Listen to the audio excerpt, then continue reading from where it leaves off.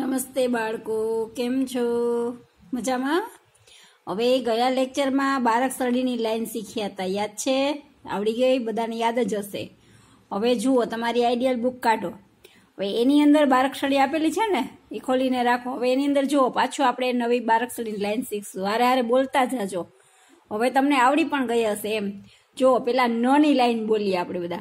ન, ના, ની ની નું નું ને નઈ નો નવ નમ નહ તો આ લાઈન જે આખી બની છે ને, એમાં તમને આમાંથી જ પછી તમને શબ્દ અને વાક્ય લખતા આવડશે. તો પેલા કેવી રીતના બને છે એ યાદ રાખવાની હોય કે ના કેવી રીતના બન્યો? તો કે નની એક બાજુમાં લીટો હોય ત્યારે ના થાય. કેવી રીતના વચાય એ યાદ રાખવાનું. પછી ની કેવી રીતના થાય છે? તો કે નને રસવાયની અને નને દીર્ઘાયની. બે ની થયા. પછી બે નું આવશે. તો કે નને રસબાવાળુંનું અને નને દીર્ઘાવાળુંનું. પછી નને એક માતર ને બે માતર નહીં. એક અને બે ને નહીં. પછી નો અને નવ. તો કે કાનો માત્ર હોય ને, એક ઉપર અને એક બાજુમાં, એને નો કહેવાય. અને બે હોય ને નવ બોલાય. નવ. પછી નની માથે મીંડું હોય ને નમ વચાય અને ન. તો એવી રીતના પહેલાં બધી લાઈન તમને બોલતા આવવી જોઈએ. પછી જ તમને આના ઉપરથી બધા વાંચતા લખતા, કોઈ પણ અક્ષર હોય તો આવડે. પણ જો આ નહીં આવડે ને તો તમને એની વાક શબ્દ લખતા કે વાંચતા ન આવડે. પછી હવે જો બીજી લાઈન શીખીએ. પ, પા, પી પી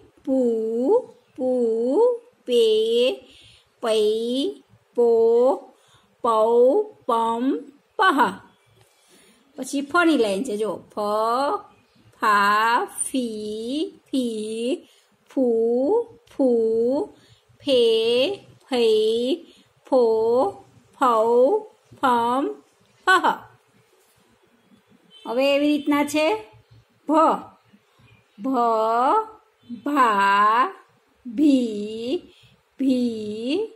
ભૂ ભૂ. ભે ભઈ, ભો ભવ અને ભમ અને ભ. હવે એવી રીતના ઊભી લાઈન તમને કોઈ પણ બોલવાની કીએ તો આ તો તમને વ્યંજન છે લાઈનમાં, એ તો આવડે જ છે. કે ક્યાં ક, ખ, ગ, આપણે શરૂઆત ક્યાંથી થાય છે? ક થી સૌથી હોય ને કે ક, ખ, ગ, ઘ, ચ, છ, જ, એવી રીતના આખા વ્યંજન હોય. હવે એની રીતે લાઈનથી બોલવાનું કીએ તમને કે કા.